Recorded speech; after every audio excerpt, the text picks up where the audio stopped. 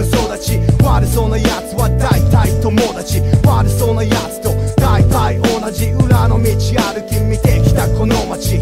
渋谷六本木そう思春期も早々にこれに続こにカバンなら置きっぱなしてきた高校に。マジ親に迷惑かけた本当に。だが時は経ち今じゃ雑誌のカバー。そこら中で幅ひかせたんだだ。毎日か掴んだらマジでナンバーワン。東京代表トップランカーだ。そう。りジャンに無敵のマイク預かり仲間たち親たちファン